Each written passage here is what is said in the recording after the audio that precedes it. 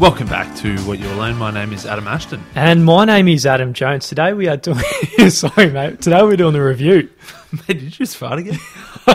No, it was about five minutes ago. Sorry, Jesus. mate. Uh, yeah, best of season two. So we're going from the, the second half of the season. So the first half was covered in our best of 2017 episode. This is from January 1st up till now. Yeah, the first. To be honest, I was a little bit embarrassed by the last end of year review. We, we were absolutely We got, we got sloshed. We were off our face doing a podcast, which isn't probably the best for the listener. But tonight we're, you know, we're having a couple. We've got the Johnny Black. Um, we started a little bit earlier, so we're not as many drinks deep, which is good. So it should be some good stuff. The best books, the best of the interviews. Now we are actually going to do this last week.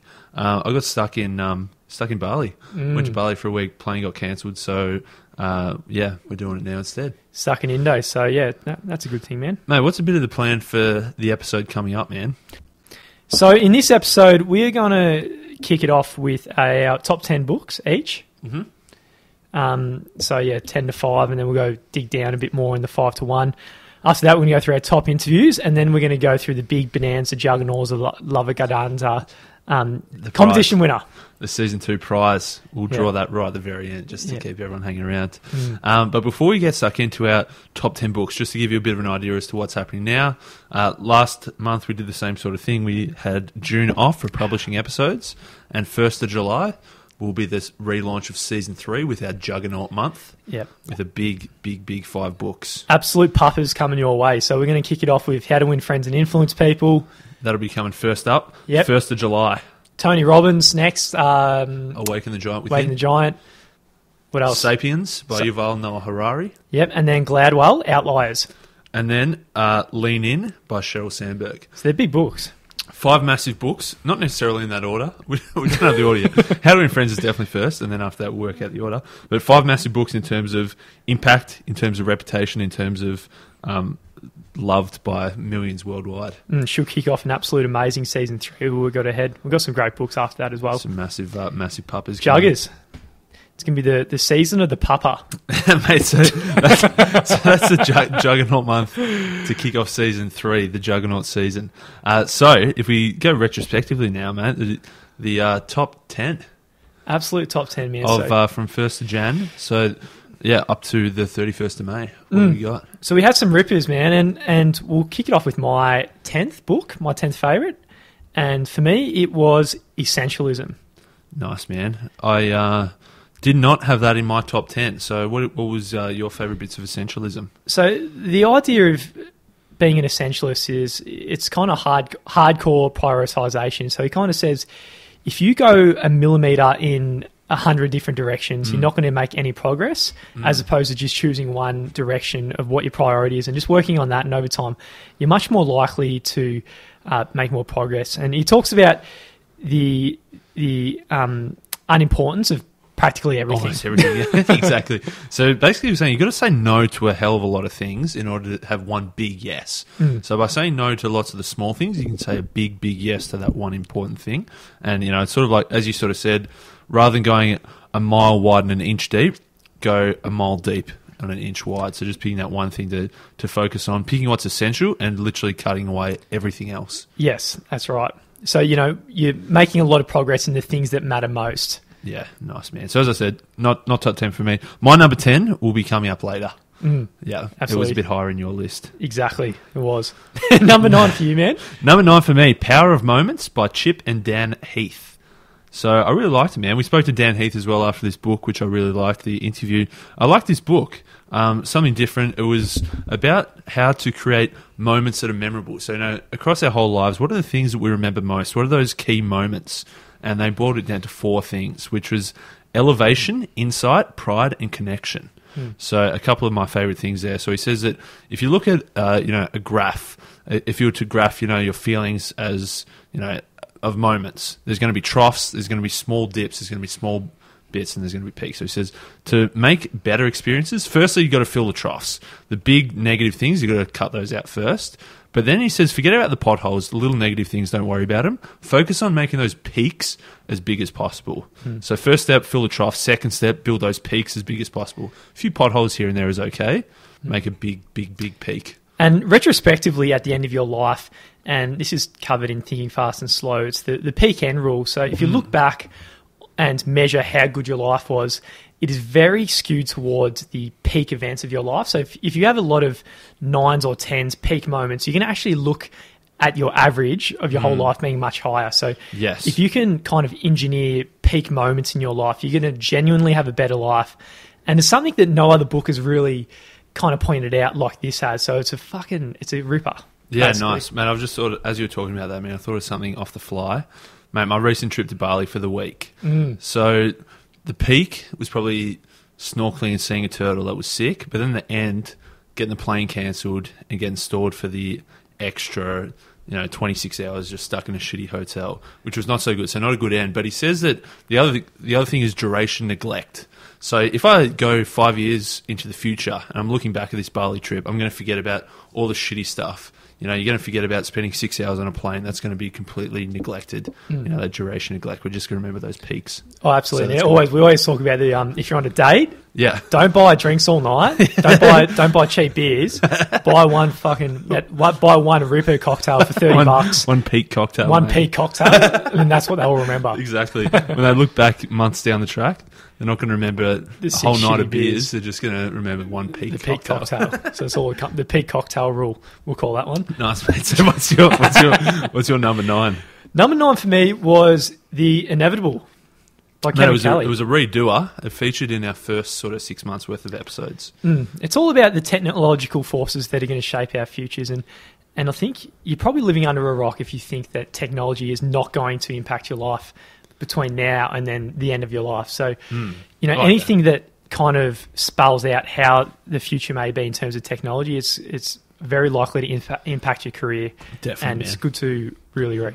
As I said, we redid this one. I think it was the only only the second time we've redone a book um, because we interviewed big man Kevin Kelly, and so he said that you know the book Inevitable was about the twelve technological forces that are shaping the future, and he said that in the two two and a half years since writing the book, he's only more confident. Um, like unwaveringly so that these 12 things are inevitable that they're coming. He's got more examples and those 12 things that we detailed in that episode they're, they're coming. So be, be ready for them Yeah, don't listen to the end of that. we'll just listen to the um, we'll just listen to the song before we recorded this, yeah and we we're discussing if you were random and you just tuned in that for the first episode, and you listened to the last three minutes of just the song of that episode, you just wouldn't listen again. That was that was an It's a awful weird. song, It's a very weird. We, that's the weirdest moment of our lives, I'd say. Anyway, mate. So number eight for both of us uh, actually features higher on in the other person's order. Mm. So we'll skip number eight, um, and we'll go to number seven. So number seven for you, man. seven for me was crushing it. You you loved crush it. I hate hated crush it. Yeah. I liked crushing it. You hated Didn't like- crushing it. Yeah, that's it, man. Crushing it, not in my top ten. Um, there's some good stuff in there. Yeah, there's of. a little bit. There's a little bit of gold. There's a lot of bit of a, a bit of crap in there as well. there's no doubt. But I really like some things he he talks about of you know being in, in touch with s- business today, which is for him it's a lot of a lot to do with social media and things like that. Yeah, so Gary Vaynerchuk, he says, you know, look, there's no better time to be an influencer than, than today. And some of his advice is pick your one main pillar of content, splinter off a whole bunch of other smaller contents. But basically, you got to always be hustling, always be putting out a lot of content all day, every day, all platforms, just spreading your content. Mm. And the thing I liked about this book, which wasn't in Crush It so much, it's the amount of emphasis he puts on work, like how much hard work actually goes into it. Yeah. And it's not you're not just entitled to put in all this, um, you know, just just just because you're passionate about the Smurfs, you can end up with a podcast about the Smurfs and make a living off some, you know, real niche you're passionate about. It's going to take a lot of uh, p- uh, effort and eating shit. Yeah, the way he he talks loves about it before you actually get to the end. Loves eating shit, mate. One thing I did like, really like from crushing it, he says that everybody's got excuses as to why they can't start their own business, or they can't just start something on the side with not enough time, not enough money, not enough knowledge, or any excuse. But he says it boils down to three key fears: the fear of failure, which he says is not so much you feeling that you're a failure, but of other people seeing you fail. The second was the fear of wasting time, but he says, look, what else are you going to be doing? You're going to be watching uh, Lost on TV or watching Survivor, but that's a, that's not a waste of time. But if you're watching, if you're a watching fucking waste of news, if you're watching news, then that's a waste of time. Um, Survivor is clearly. or the a third one is uh, the fear of seeming vain. And he Hmm. says, look, what's worse, you seeming vain to people in the short term or crushing it in the long term? Hmm. So, yeah. So that was his three fears. I like that, that part a few gems it. in there, no doubt. Definitely. So we'll roll on to number seven for you now. Mate, thinking in bets, uh, which I believe didn't make your top 10, but I liked it. I like the, the ideas of our decisions, you know, this ideas of making decisions and viewing all the decisions we make as bets because really, even though we're super confident, we really don't know everything that we're talking about. And so any decision is really a bet on the future outcome. Absolutely. So one of the things I liked about this is how she talked about how life is a lot more like poker than chess. Like chess, you know, whatever position you're in now, there is actually a good move. Yeah. And a good decision means good outcome. But poker, you can actually, and in life, you can make a great decision and have a really shit outcome. Yes. But what we tend to do, You can also make a shit outcome and get lucky. yeah, and get lucky. Yeah. And we usually use the outcome to determine how good our Yes. decision was. When sometimes, you know, we just forget that some things are just luck. exactly. So he says we've got to s- distinguish between luck and skill, and we've got to distinguish between the decision quality and the outcome. Uh, and essentially, she says, look, you've got to admit that there's a bit of uncertainty there in order to learn more. So she says, you know, if if ever anyone says, oh yeah, I'm, I'm sure that this thing's going to happen, if you say, do you want to bet? They're immediately making all the calculations in their mind that they don't say, actually, maybe they're not 100% sure. There's actually a bit of uncertainty there, and that idea of actually betting is what reveals that uncertainty. Mm. One thing I really liked was this idea of motivated reasoning. Mm. And I think you're in a better spot to, to hit this for six than me. Uh, I wasn't prepared for that, but yeah, what, what was motivated reasoning again? It's this idea when, bias? yeah, a bit like confirmation bias. So, say if you um, have got. I'm gonna you. Threw me on the bus there, mate. Yeah, you go. Mate, but motivated reasoning, I'm guessing that if you've got the desire for something to happen, an outcome, then all those things you're going to see are you know, a bit like confirmation bias, and that if you've already got an idea, you want something to happen, everything you see is going to support that idea. Yeah, so if you're smart believing something that's kind of false, hmm. because you're smart, you can use your intelligence hmm. to create false reasons why an idea is true, Nice. as opposed to having you know let being ignorant and understanding that you might be wrong in certain, some certain some certain some circumstances. So no matter if you're smart or dumb, we use reasons to believe our false ideas. Yes. As opposed to admitting we might be wrong and then moving in another direction. I like it, mate. We nearly fell off the wagon there, but we're back on track. So, Yeah. number six for me was The One Thing by Papa Joe, Papa J, Jay Papasan. Big Papa Joe. so, mate, uh, uh, you said you had, you had essentialism in your top 10. Uh, I had the one thing in my top 10, which I think sort of similar ideas, um, but I preferred the one thing in that just he, he sort of dispelled a lot of the lies of productivity that, you know, you've got to be fully disciplined all the time. Multitasking is a good way to get lots of things done. Accessing willpower is a good way to just get out there and do stuff. They're all lies. Mm. You've got to focus on the one thing. So you've got your big picture one thing for your whole life, and then you've got your one thing to do right now. Mm. So I like that. I like that approach to productivity. Pretty simple book. Yeah, the book's full of analogies. The analogy I really liked was the idea of the domino. Mm. You know, if you always have exponential growth, and say if your one thing is like, say, a magnitude of percentage bigger than the thing you're doing now, mm. and if you keep going at, you know, 30% bigger, 30% bigger, 30% bigger, with the power of exponential, you can actually, a, small domino can eventually hit something, a domino the size of a moon after, you know, a magnitude of 50 or something ridiculous like that. Mate, another the other metaphor or analogy I liked was the iceberg. So he says that you know the tip of the iceberg is productivity because that's what everybody else sees. If everyone sees someone who's super productive, they think that's all there is to it. But really, below that, below the surface of the water, you know, below the productivity is actually having a priority. Mm. So they've tied their day to day tasks to their longer term, you know, five year goal, lifetime goal. And ben- beneath the priority, they've got their purpose. So that engagement and meaning leading towards a greater sense of fulfillment and happiness. Yeah. So people just see the productivity, but it's important to build from the base of purpose, then priority, and then productivity at the very end. Yeah, that's it, man. And as long as, for me, as long as you're like going for a bigger domino as your next domino, and you're always going for that growth, eventually you can start taking down fucking ripper ripper dominoes. Yeah, exactly, man. Exactly. Um, the domino on the iceberg on the map of the compass. Yes, using the compass and the map of the domino. Lost it. good analogies. Yeah, Uh, mate, number six for you. We'll wait. We'll wait on that one. Yeah. yeah. Absolutely. Number five is for you, and this was my number eight. Yeah, the chasm. Crossing the chasm. Crossing the Chasm by Absolute Geoffrey ripper. Moore. Hopefully you're keeping up with these numbers. We're jumping, we're jumping around a bit in that. We've just we've, we've tried to schedule these so we're So not we're up to number five on our Number together. five, number five for me. Number eight for you, crossing the chasm. So he talks about like the normal distribution curve, a bell curve. At the very far left, you got your innovators, which is like the first couple of percent. Next, you got your early adopters. And the context of this is marketing, who the target, Yeah, who nice. a whole market is, Good right? save, man. I just drop, jumped straight in. Did. straight in. Um, after your early adopters, you got your early majority, and then past halfway, you got your late majority, and the very tail at the far right, you got your laggards. Hmm. So they're saying that essentially any new product or any new idea has to start at the far left with the innovators, and it's got to make its way across.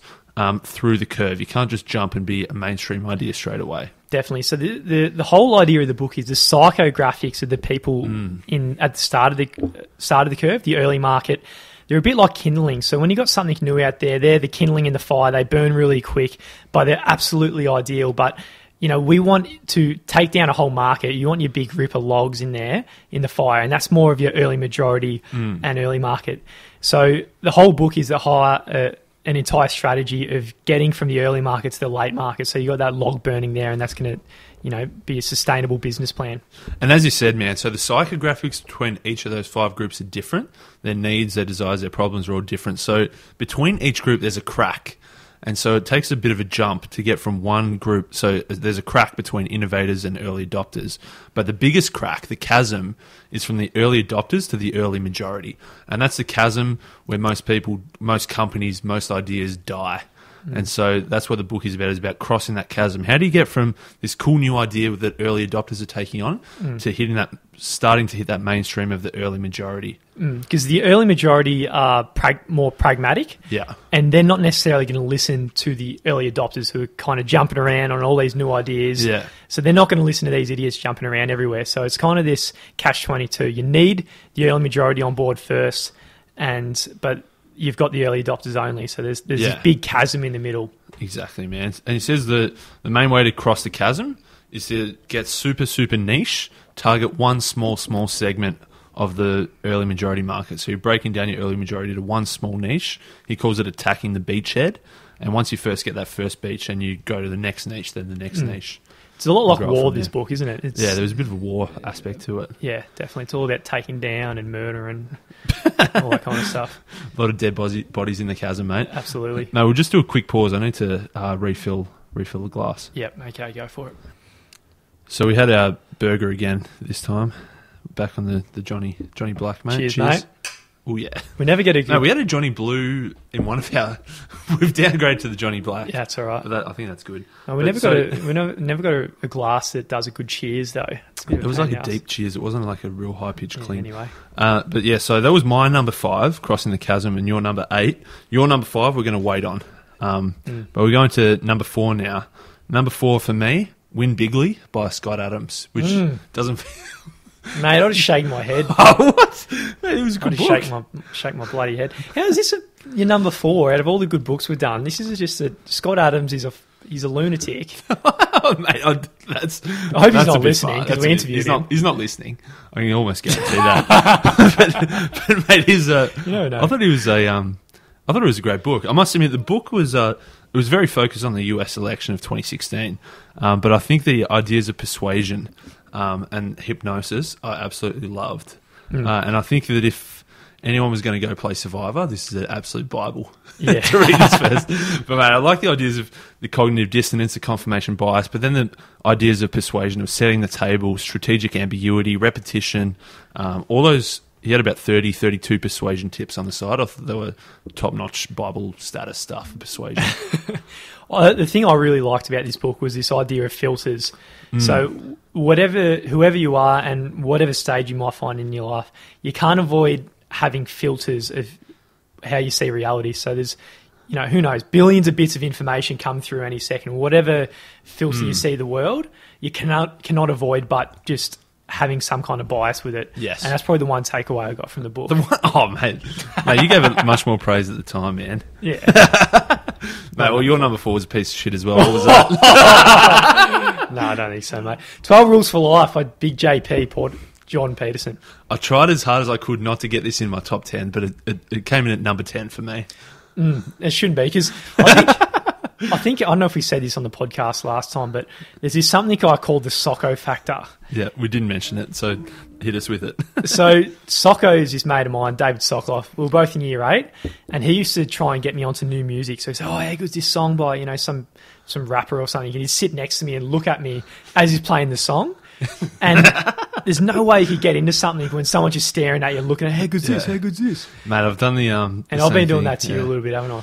No, well, mate, I liked Peterson. I, I, I like Peterson. I like his stuff, and I like some of the ideas. I just didn't love the book. Hmm. Um, mate, I've I've experienced that Socko effect in that I was giving that to trying to get people onto Survivor, and I just was Oh, yeah. really really wanted them to like it That was me as too well. much, too much, mate. You had the that Socko a- effect with Survivor. Survivor, Su- mate. Survivor's objectively shit. That's wrong. That's very wrong. Objectively. Mate, but uh, 12 Rules for Life. Mate, I did like the first paragraph and the last paragraph of every chapter. It was just the 30 pages in between that were just random rambling that I thought went a bit off track. Hmm, objectively wrong. Uh, rule, but a few of the, the good takeaways for me, man, Yeah. was rule number one: stand up straight with your shoulders back. And Yeah. I really like this analogy pulls from lobsters. You know, they're 500 million years old, and they're so much like us. And it's understanding that hierarchies, which there was a time in my life that I thought it was just a power structure and oppress, oppression from the, the top down the bottom, but every kind of every kind of um, animal, so to speak, does have some kind of hierarchy, and it's a natural thing, Hmm. which is amazing. And so, how does that relate to number one? Rule number one: stand up. Oh, sorry, stand up straight with your your shoulders That's, back. mate, that's what I'm saying, man. He's way off track. I don't know how it relates. Well, lobsters. so the the top lobster on the top lobster in in their hierarchy had this kind of neurochemistry where it would ha- be in state, in Yeah. using Tony Robbins kind of words, and you know if you're a human being and if you're in state and you're standing up straight with the shoulders back, you're expressing that you're on top of the hierarchy. Yes. So that's, that's where the thing. that For the, in. for the lobsters, for them, in order to move up in the hierarchy, they had to fight and they had to win. But a lobster fighting and losing is almost life threatening. So we're saying that the big dogs who stand up straight with their shoulders back, who look the biggest, they're intimidating that people don't want to fight them. So that's what we're saying there. Man, a hmm. few of the other ones I liked. Rule number two. Um, treat yourself like you would someone you're responsible for helping. So we're saying that if you had a kid or you had a pet or you had a, even a friend that um, you were responsible for helping them, whether that was giving them medicine or telling them what to do, you'd look after them a hell of a lot better than you look after yourself in terms of, I don't know, what you feed yourself, what you do with your life, how you exercise, all that sort of stuff that if you did to yourself what you did to someone you're responsible for, they'd you'd probably be locked up. so, so you got to yeah look after yourself as though you were looking after a child or a or a pet that you're mm. responsible for. Yeah, definitely, man. And rule number 10 for me was my favorite in the book, and it was be, pre- be precise in your speech. So he says everything clarified and, and articulated becomes visible.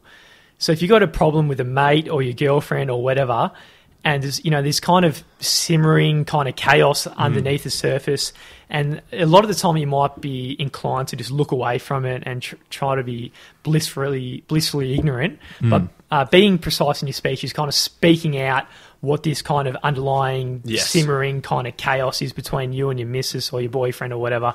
Yeah. And you, when you spell it out, you can actually attack it and you can slaughter it down Exactly, man. and you can improve. like that kid story we talked about during the episode of the dragon. If you ignore the dragon, it's going to keep growing. But once you acknowledge it's there, then you can start to tackle it. And it might be a dragon, which requires slaying, or it might be absolutely nothing. Yeah, exactly. Once you vocalize it, it might turn out that it was just a silly thought all along. Yeah. Man, a few other um, self-explanatory ones just from the titles. Rule four: compare yourself to who you were yesterday, not who someone else is today. I like that one a lot. And rule nine: assume that the person you are listening to might know something that you don't. Oh, that's a ripper, isn't it? Man, uh, it was good. The twelve rules are sick. Not good for the Harry Potter effect. Mate, number three for Me. you. is The Life You Can Save by Peter Singer. Nice. So I think I, I had that at. You had it a uh, bit higher. I had it number eight for me, but it's a it's a great book, man, and something different besides our usual sort of wheelhouse. But it's um, important stuff, man. Important to read. Absolutely. It's an absolute punch in the face for Yeah. how you go about your daily life. There's no doubt there's a lot of people being lifted from poverty every day, but at the same time, by us choosing us in developed countries and you know spending our money right now. We've got our Johnny Blacks here. At the end of the day, we spent like sixty or seventy bucks on this. Yeah. you can't deny the fact that's that sixty or seventy is a good way of the way of saving someone's life on the other side of the world. Mate, there was a, uh, we could have probably fed um, 30, 40 people with that 70 bucks just for our Johnnie Walker Black Label. So, so Singer's not telling us to go and just not drink Johnny. He's just t- telling us all you need to do is donate. He's got a sliding scale in the Yeah. book, and you'll hear it in the episode as well. But five percent is maybe all you need. Exactly, man. Basically, he's just saying, look, if you're listening to this, if you've got the ability to, to buy an iPhone or equivalent and listen to a podcast, uh, basically you've got it pretty good. And that we all can and we all probably should be doing more to help those people that are far less privileged than us. Yeah. And basically, he broke down a lot of the common objections to giving more. He broke down the psychology of why we don't give more.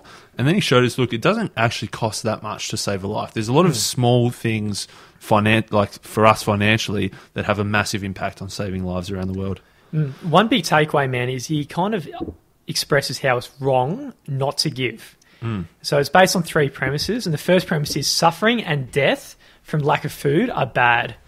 So basically, it's up to you to decide. Look, is it is that true? Do you agree with that premise? If you agree with that premise, um, then yeah, it's pretty much on to the next one. Yeah. Yep. Premise two is if it is in your power to prevent something bad from happening without sacrificing anything nearly as important, it is wrong not to do so. Sounds like a pretty reasonable sort of thing to say. And the third premise, by donating to aid agencies, you can prevent suffering and death from lack of food, shelter, and medical care without sacrificing nearly anything as important. So he's basically saying with these three premises, if you do not donate to aid, agencies, so by inaction, you're Yeah. doing something wrong. That's his is- basic argument, man. So if you've got those three premises, if you can agree with those, um, then it's pretty much like, okay, well, you, you know the obvious path forward then. Mm. Yeah, Definitely. I like it, mate. It's a punch. Certainly is, man. Mate, my number three is uh, your number two, which is... So good, they can't ignore you. Mate, I really like this one, man. Number three for me, number two for you. So pretty um pretty high up there, man. It's a great book, man. It really balances out a lot of these other books we've been reviewing, like, you know, Millionaire Fastlane. Quit your job, follow your passion. quit your job, the Yeah. Tony Robbins, quit your foreign job. you know, this whole idea that your passion is out there. All you got to do is have the courage Yeah. to just quit everything you're doing now and then just going following your passion, and the whole universe will conspire to do everything that you know you deserve because you're privileged to this amazing life. Exactly, man. He said there was he had two two different ways you can look at life. One is the passion mindset, one is the craftsman mindset. So the passion mindset is that, you know, there's some passion that we have that's out there. We're always looking for what can the world give us? Mm. Whereas the craftsman mindset is thinking, what can I give the world? What's something that I can commit to, develop skills, rare and valuable skills, build something over a longer period of time that, to, to really give back hmm. um, and become a craftsman, become a master in what this thing is, rather than just thinking, what's my passion? What do I deserve? What what hmm. can the world give to me? because unfortunately, you know, he there's there's some three conclusions that he has about passion, and the first conclusion is that passion is rare. So he studied a whole bunch of Canadian students about who what their passions were, and the top five were things like dance, hockey, skiing, reading, and swimming, Yeah. and pretty much only sorry less than four percent had four percent had anything to do with a job or some kind of career. So passion is rare. The other thing is passion takes time. And the third one is passion is a side effect of mastery. So if you're going to be passionate about something, is because you have autonomy, competence, or purpose. Yeah, exactly, man. It's just saying that he's saying, you know, passion takes time. Passion, passion is a side effect of mastery. It's not just like I'm passionate about doing, you know, some of those things that you listed and you just quit your job and make money from those things. It's sort of like something you get good at, something you build over time, something that you start to approach mastery. You actually begin to like it more, and that becomes your passion. Yeah. Rather than it. just thinking that oh, I can just quit and follow my passion and everything will be perfect. Mm. And if you follow the path of the, of the craftsman, you gain something what he calls career capital. You kind of got leverage. So when you got skills and and using the title, if you're so good that people can't ignore you because you've got this craftsman mindset, then you can trade this this competence and this leverage or career capital to gain autonomy. You know, the idea like fuck it, I'm going surfing today, Yeah. or competence or purpose. You know, you can start choosing. I'm going to go for a company with better values, and because people because you got some kind of scarce skills, you can actually start choosing these things, and that's where the actual passion comes in. Definitely, man. As I said, I really like that book. I reckon it's probably great if you read like Millionaire Fastlane, read Rich Dad Poor Dad, read Crush It, and then you read this. It's a nice way to balance them all out. I already reckon. gave you a bit of a punch in the face with it. Now, I've read it. I've actually probably read it three times now. Oh, really? Um, I first read it because uh, Derek emailed Derek Sivers and he said get on this one, and it was. Um, I didn't like it so much at first, Hmm. and then as I've sort of you know read more and more books, it's becoming better and better, and then over time, yeah, it's really good. very realistic. Get that. Oh, what do you got there? bit of ch- Bit roast of um, almond. we got right now. We got a bit of bit of chocolate, bit of uh, Roast- old, roast old gold, old gold, roast nice. almond. It's very nice stuff. How many um, lives could we have saved with this? This looks like expensive chocolate, mate. No, it's only four bucks, man. Oh, That's all right. It's good stuff. Number Could save a two. Number two for me, mate. Number two for me, um, Perennial Seller by Ryan Holiday. mm, First and only Ryan Holiday book I've read. Uh, listened to a lot of interviews with him. He sounds like a pretty cool dude. But mate, I really liked he's an Perennial incredible author, man. He really is. Um, where did Perennial Seller rank for you? Number three for me. So high up Was for it? both of us. Yeah, it was. No, mate, it was number five for you on my list. Oh, whatever. You had number three, Life You Can Save. Um, we'll, we'll recap our top ten at the end because we're all over the shop here. But mate, Perennial Seller. Yeah, it's an absolute ripper. So it's all about um, the first step of any creative for making work that lasts. So this is the Mm. whole idea of having something perennial. It's if you make it now, it is so good that in 20 years' time, it's still there and it's still making you some kind of money and some kind of passive income. Exactly, man. If you look at like uh, the way I really liked with that we we talked about it was the get it done versus get it right. So probably early in your creative career, get it done. So get a lot of things out there, and it's good to get into that habit of you can have an idea, create something, and get taking it out action. Get That's it what level one. Yeah. When you like read these kind of books at the very start, it's all about getting off your ass and doing something. Yeah, exactly, right? man. And it's And not a- necessarily going to be quality at the It's start. It's definitely a very, very, very important place to start, an important first step. But perennial seller is more about heading towards the other end of the spectrum of get it right. So once you can get stuff done and you have got a bit of stuff behind you, start to make something really, really good, something that's going to last, something that's going to stick around forever.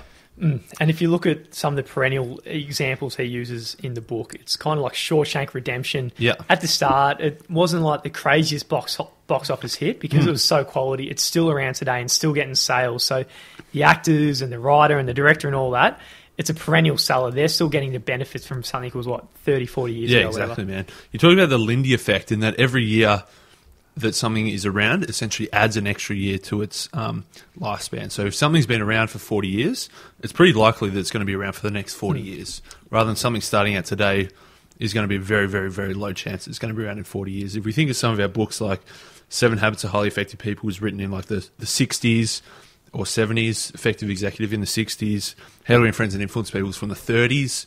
And like, so those books that have been around 40, 50, 60, 70, 80 years, they're probably going to last a test of time and probably in 80 years' time they'll still be popular. Definitely.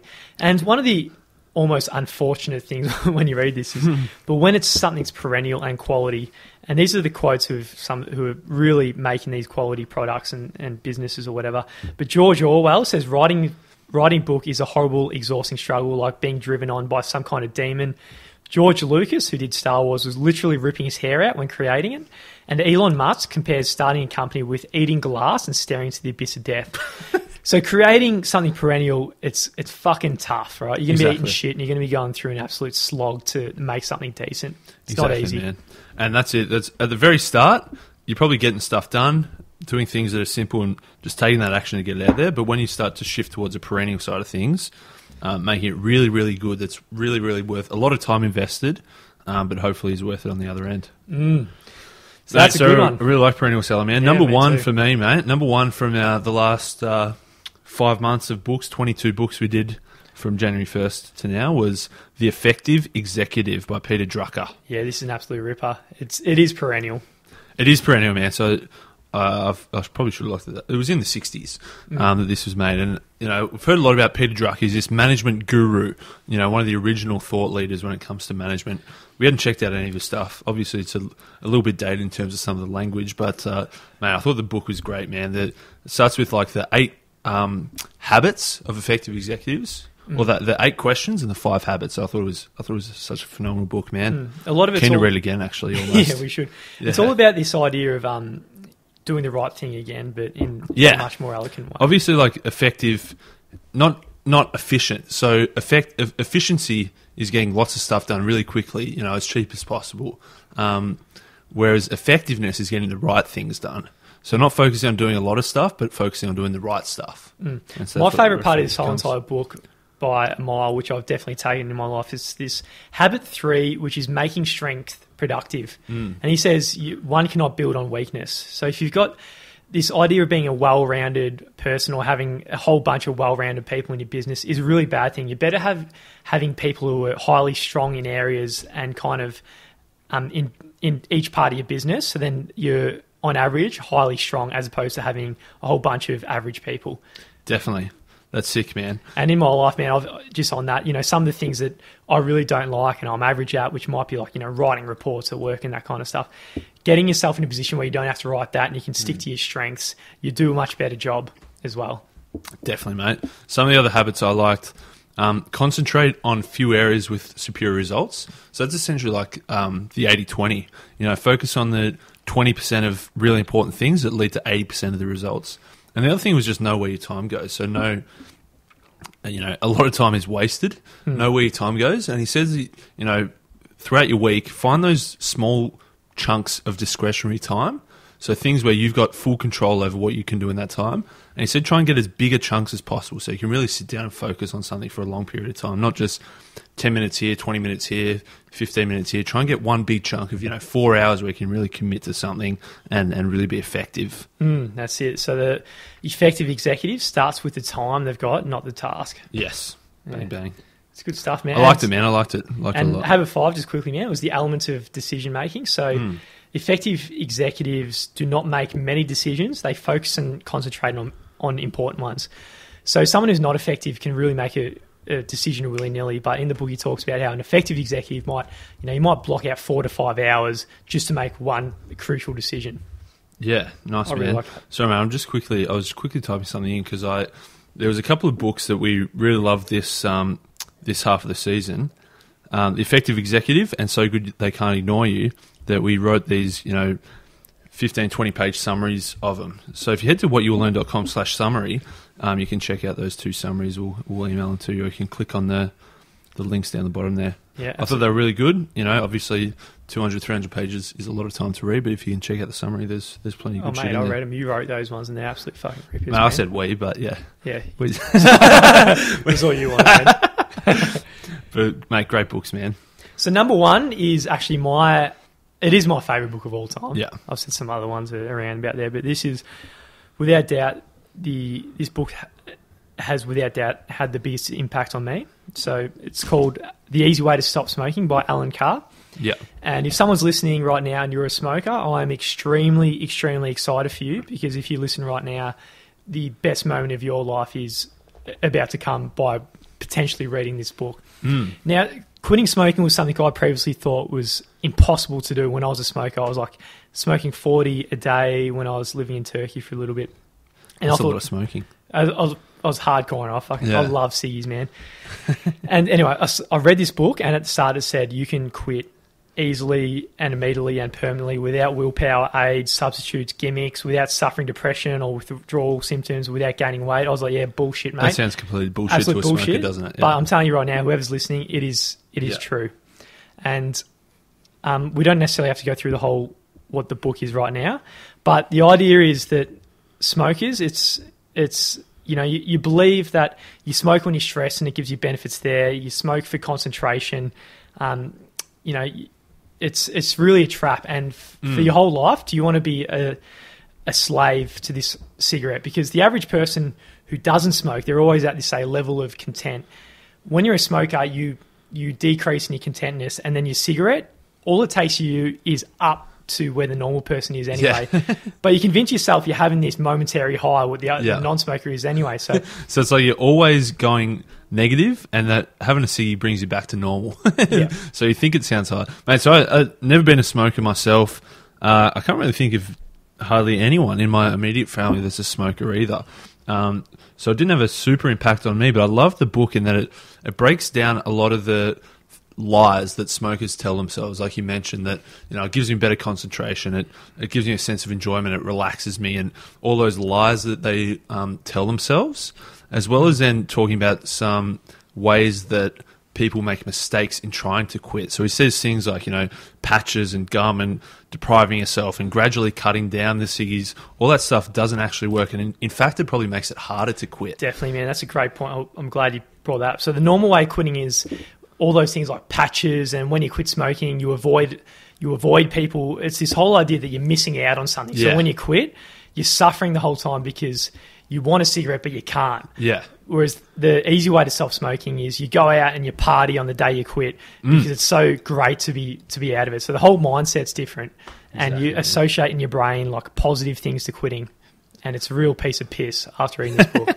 Yeah, I liked it a lot, man. As I said, no no specific impact to me, but it, it was a really well structured book in that, uh, you know, uh, kills a lot of the lies, says a lot of the most ways people do it is stupid, but this is a, an easy way and it's a, the most enjoyable way. As you say, man, best day of your life when you quit. Mate, whenever we Phenomenal talk about this book, I get really nervous that I'm not selling it hard enough. Yeah, Right?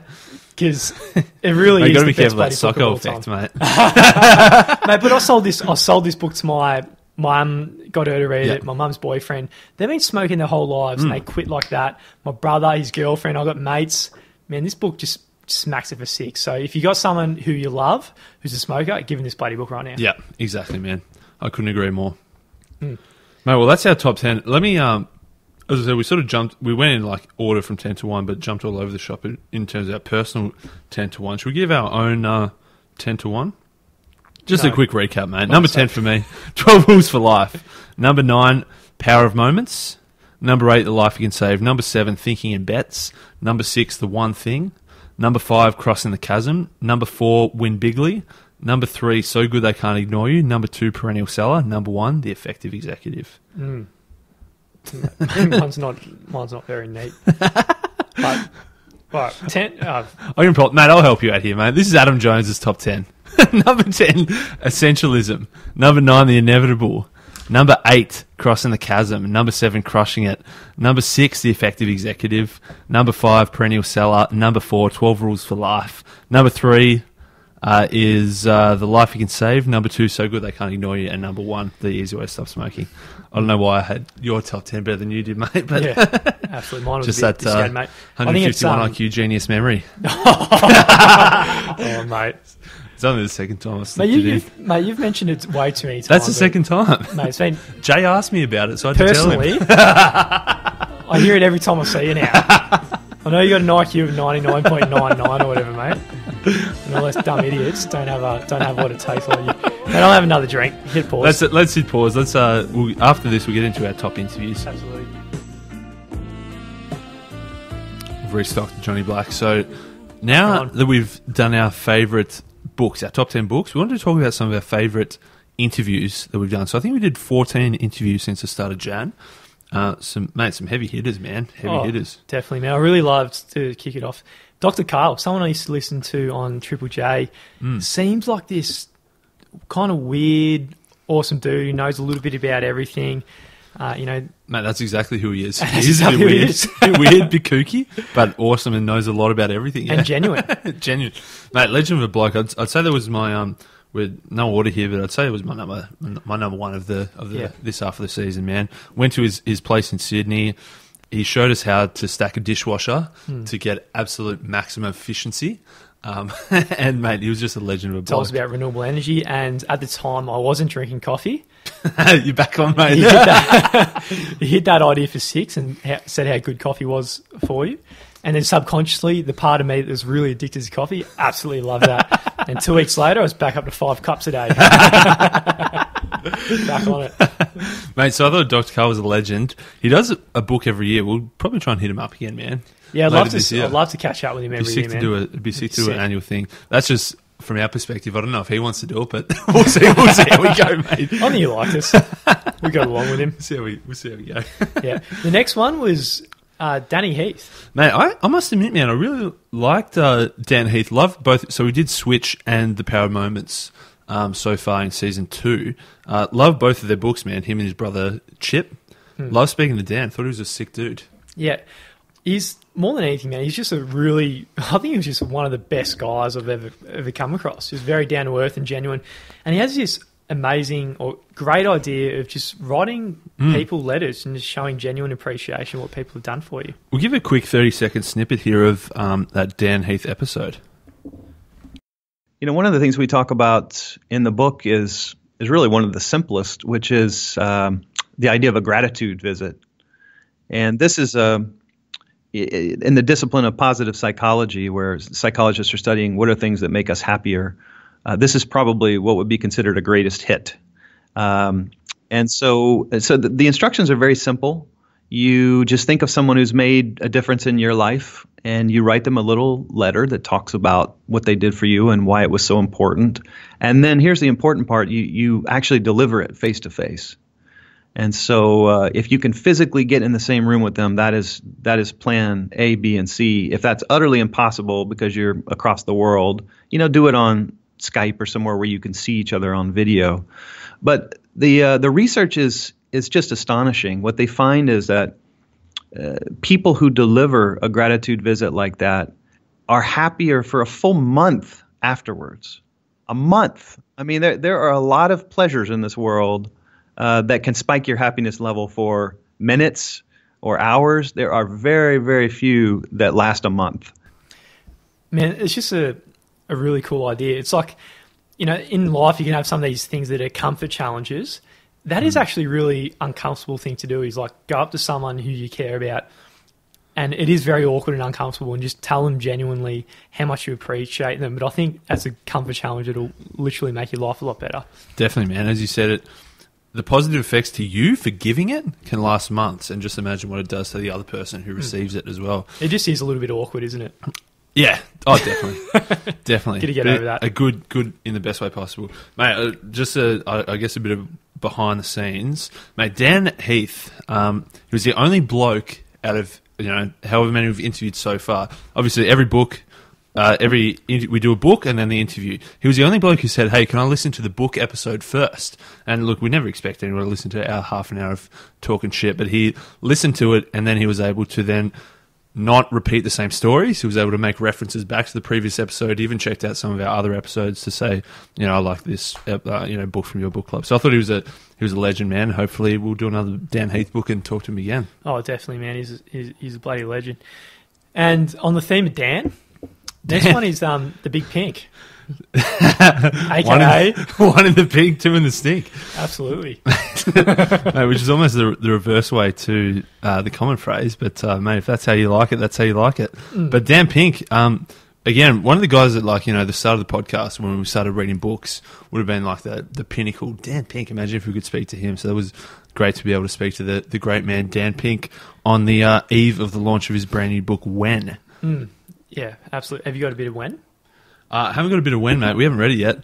Um, the only mate, the thing we have got from Dan Pink though is uh, is when we were recording the episode of To Sell Is Human uh, in uh, not this specific room, but about three meters the other way, right next to the neighbour's house. Um, we must have got, a bit loud on Sunday morning. man.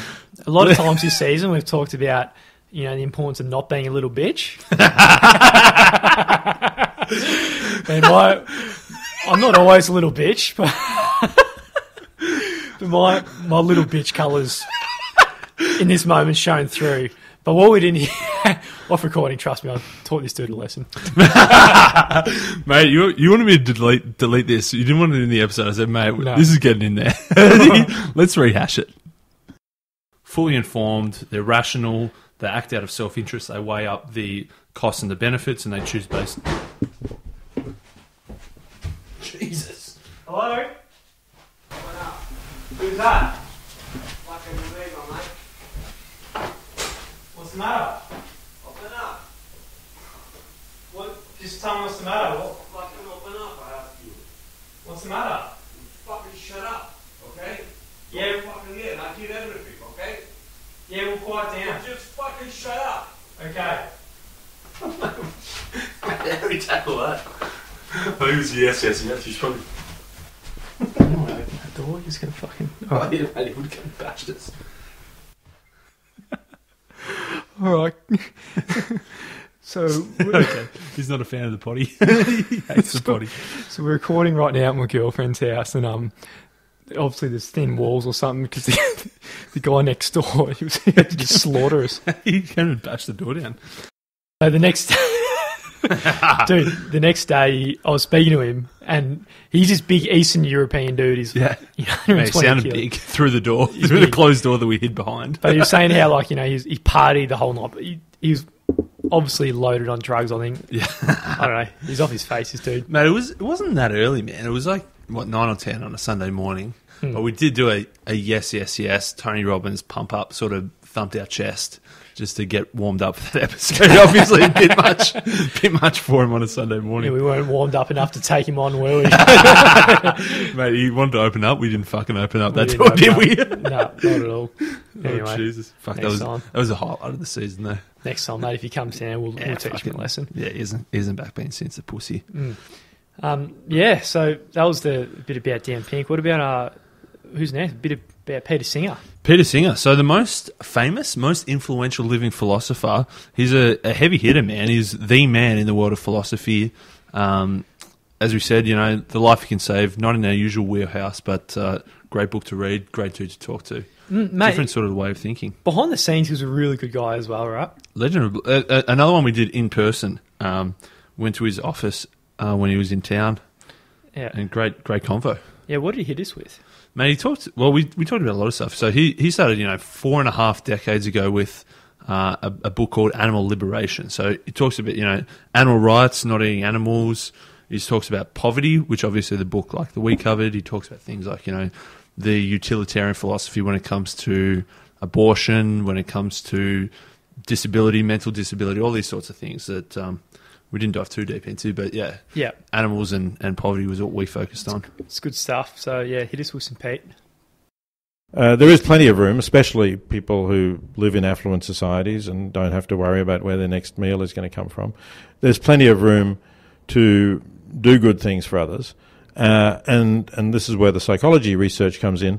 There's lots of evidence that actually you will find that fulfilling, that you'll enjoy your life more if you're open to helping others, um, that it gives you purposes which go beyond yourself and purposes which actually don't become sort of you know, there's a thing called the hedonic treadmill that if you try and say, oh well, I want to have more consumer goods, I want to drive a better car, I want to uh, you know have a bigger house, um, that these things make you happy for a short while, but after a while that disappears. Whereas um, the rewards of, of helping others and knowing that you're living in accordance with your values seem to be lasting ones. That's some powerful shit. Peter Singer.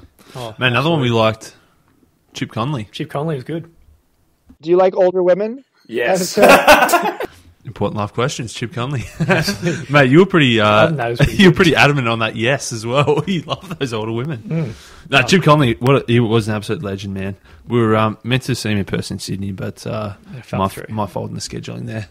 I was in, Yeah. uh, in Bali. Missed, Well, I uh, asked him to go up. to one of his big birthday parties he throws, and he said Yeah, no. well, mate, Well, he didn't say no, but he in a roundabout way. about- I think he's 57 now, so the next one's 60th. So we'll work on him. See what we can do We'll there. send him an email after a few drinks. Legend of a Bloke, mate. We, we didn't mention his book Peak, but I loved how he took Maslow's hierarchy of needs, turned it into a three level pyramid, and applied that pyramid to employees, Mm. customers, and investors. I thought it was um, cool stuff, man. Absolutely, it's been a long app, man. Are we um, what's are we? Is it the time? Um, well, mate, so I um, the Johnnie Black is kicking in for me. We got one one left that we we love the interview with Tom Peters, man. Oh, so he's pretty yeah. much the, the original. Sorry, mate, I'll, just, I'll let you cough. Um, you good?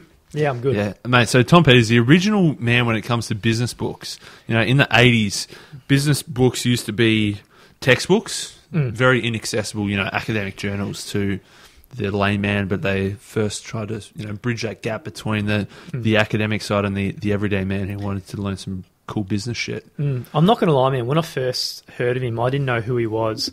But then I was speaking to someone who's a bit of an older generation, you know, between 50 and 60.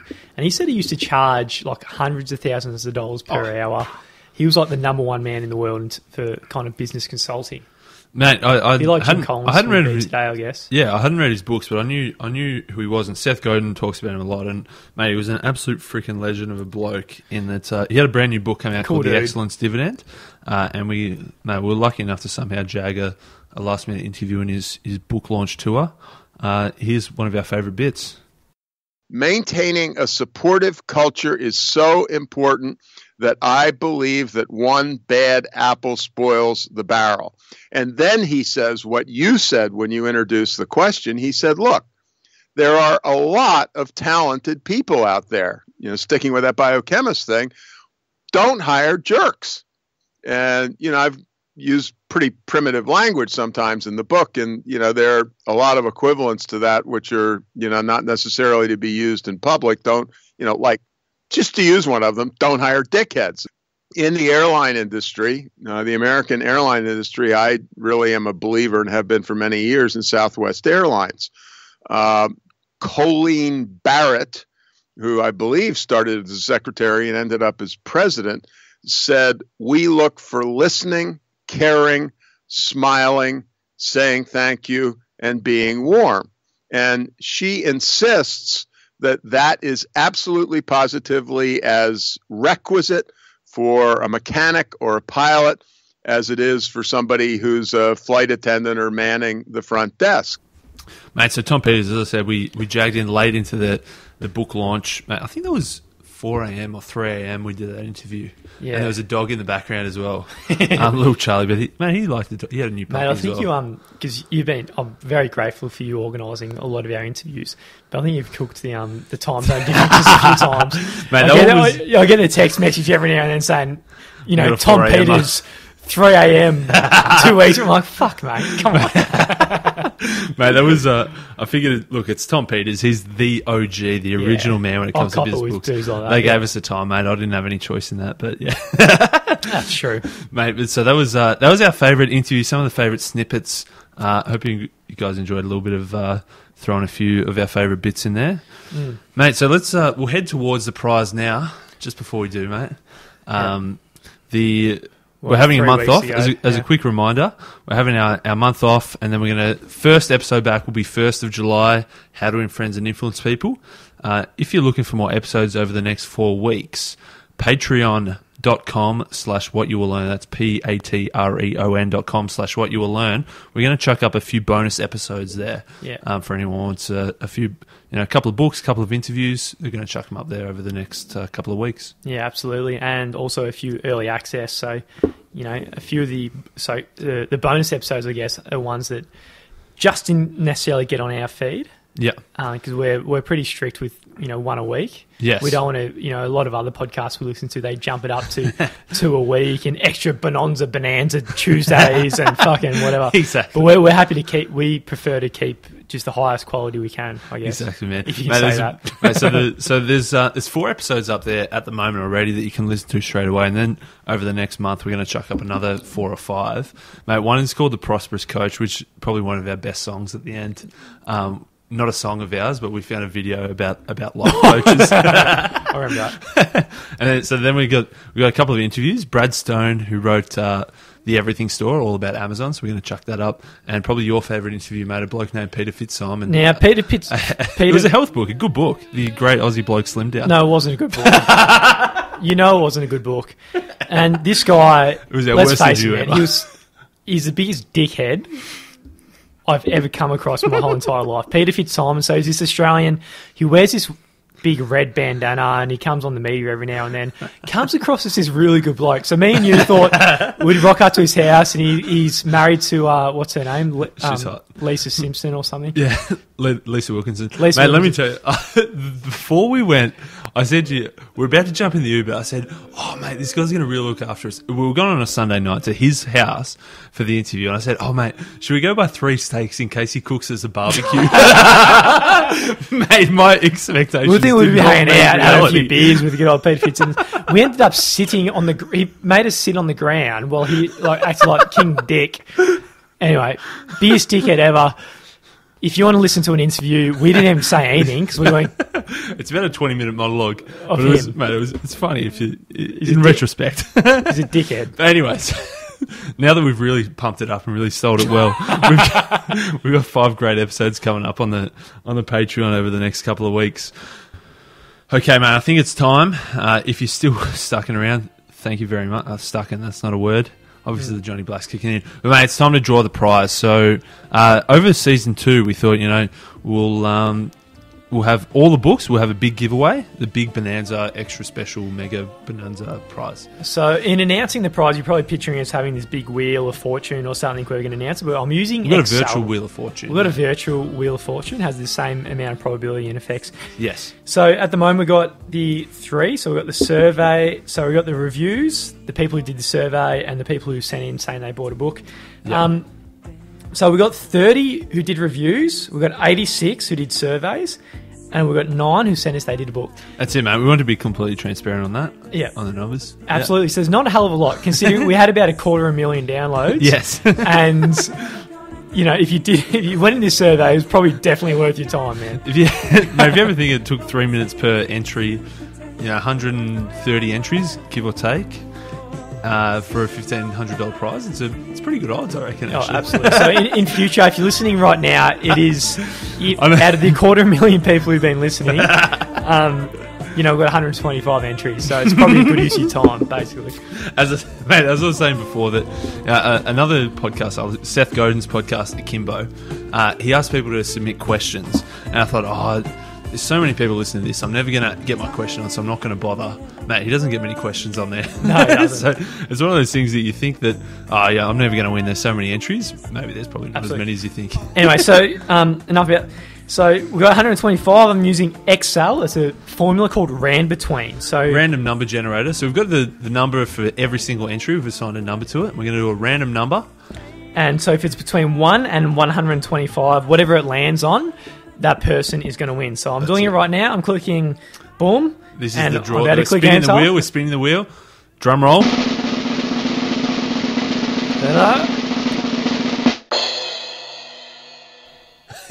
It's two.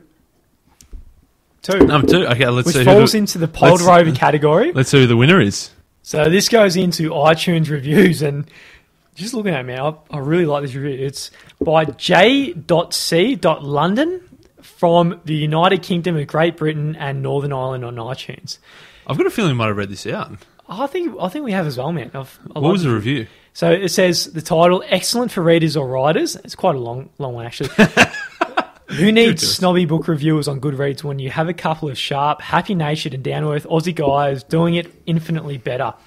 The first shows were ropey but raw, and thankfully, it's that raw core talent to understand books and present them for an audience that's remained. This effectively is the reading comprehension we hated at school done brilliantly and enjoyably. Two heads are definitely better than one, and it results in an enhanced yet better still practical analysis of the books and topics they tackle. Whether you're thinking of buying a book they mention or whether they um, you want to hear another person's insight on it, this is a great podcast. I expect they will grow from strength to strength as the service is a generous one. Awesome. Mate, you're right. That is a long one, but cheers. J.C.London. I'm guessing from the UK. Do you deserve it? That was just one was- of our top good, man. reviews, man. Thanks to the 125 entries for whether they were surveys, buying a book, or um, or an iTunes review. Uh, so, oh, don't know who that is though. J.C.London. Send us an email, podcast at whatyouwilllearn.com. Um, Send us an email before the first episode of season three, and we'll uh, get in touch, mate, so we can send you these books. uh, we'll I don't him, know who it is. we'll give him a bit longer than that. I reckon. I'll give him the middle of July. The middle of July. Send us an email, j.c.london Yeah. from the UK. But yeah, good on you, man. You got what? How many books, man? 50, 50 bloody books. There's going to be a lot of punches in the face, as you would say. punches in the face. But so thanks uh, again to everyone who entered. We're going to uh, alter the, the prize mechanism. It's not going to be a year long thing. It'll probably be a, a monthly thing, I'd say, next Yeah. next season where we'll, we'll give away maybe the best from each month. We'll work on that. We'll work on that, mate. But so from here on, couple of weeks off, unless you're on the Patreon, and uh, get ready for How to Win Friends and Influence People on the 1st of July, 2018. Thanks so much for listening. Season two done and dusted. Any final words, mate? Absolutely, man. We're just going to say, uh, people who've been listening for a while, they've probably noticed we've stopped, we've dropped the song. Yeah. The, uh, no one think the- complained about it, but Mate, that, that was we were sort of in a in a point where you know probably six to eight months ago we're like, should we continue with the song? The survey responses said we should. Then we got to the point where we thought, okay, if we drop it, is anyone going to complain? Didn't hear a peep. we had a few. So- oh, we had a few people Complain. a few people said, uh, you know, we had the hashtag bring back the song, which was a great review as well. Uh, Yeah, a recent one from the UK as well. but Let's do a song, mate. yeah, so That's I, reckon, um, dude, I reckon J.C. London, he deserves a song. Let's, Let's- sing. Let's sing him on. Let's do a season three, season two song, mate. JC London, you're a lucky motherfucker. You win all these books and learn lots of shit. Get 48 books and 48 punches in the face. Yeah, yeah.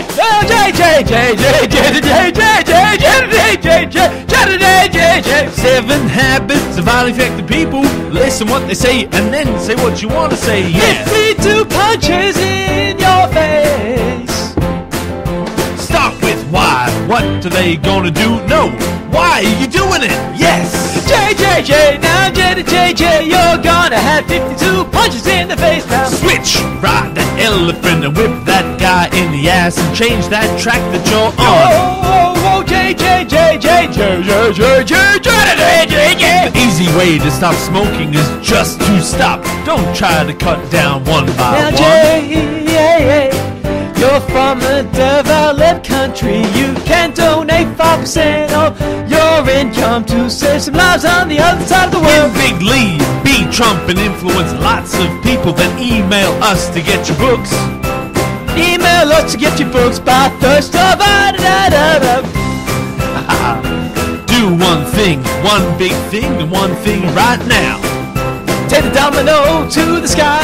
Just keep growing, keep growing, keep Make growing, Jay. perennial keep growing, yeah, Jay. yeah, keep, yeah. Fight for that keep going, Jay. I know you can do it, Jay. No, no, no, make the Keep doing it, Jay.